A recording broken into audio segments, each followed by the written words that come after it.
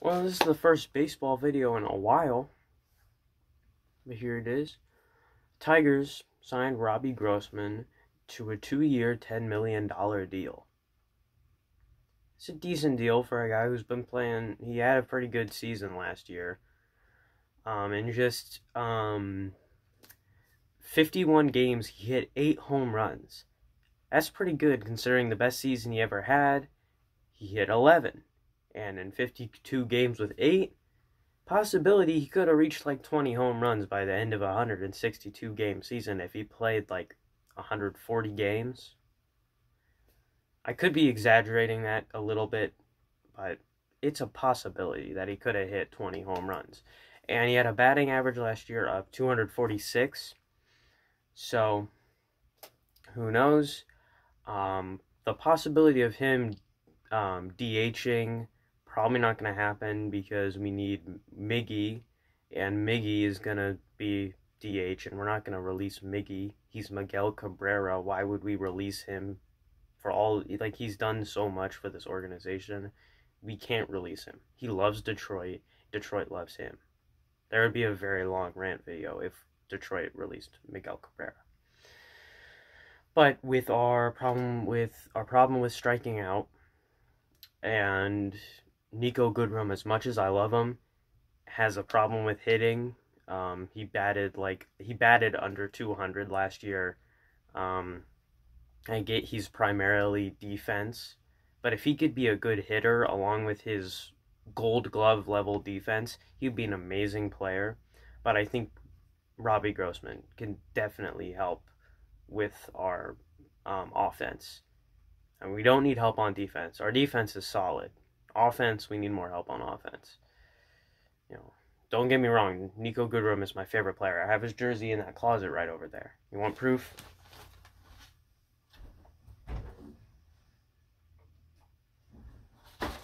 See. Ow. Here's, see? Right there. Goodrum, 28. My favorite player. Because I relate to him on a athletic level. Um, both me and him uh, can't hit, but we can field in the sport of baseball. And we both we both play outfield, so that's why he's my favorite. Him and Miggy are my favorite on the team. But I like this. I like this Robbie Grossman signing. I mean, we got him two years, ten million on a team that's struggling. He can hit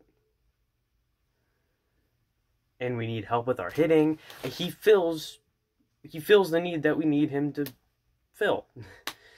we didn't make a bad signing or an overpriced signing. We made a pretty good signing in an otherwise slow winter around the MLB so far. And I'm actually excited for I'm excited for Tigers and Red Wings uh, baseball and hockey because the Red Wings in training camp in their scrimmage game today showed a lot of promise, and the Tigers have made a few splashes here and there in free agency, and some of their minor leaguers are coming up, and I'm just really excited to see them play. So, who knows? Spencer Torkelson might come up this year. Who knows? But yeah, this is a, this is a good signing in my opinion. I know most people on my channel are subscribed for the Colts and Pacers content, and you know I don't make tons of Tigers and Red Wings content, but I'm gonna make it when there's a signing and stuff because I'm a fan of it. You know, I'm gonna make more videos about that. But yeah, it's a good signing in my opinion. I'm excited for Tigers baseball for the first time in a long time we have not done very good. We went from a playoff contender to last in the division. In the beginning of the season, we were contending for a playoff spot. We were blowing out the Pirates. I get that's not a very big accomplishment because it's the Pirates and they aren't the best, but we aren't the best either. Like there was promise, and then we started to suck. But we have promising prospects like Gregory Soto, is a freaking beast out of the bullpen. I mean, the man can throw almost. I think he can throw. He can throw a hundred mile per hour fastball.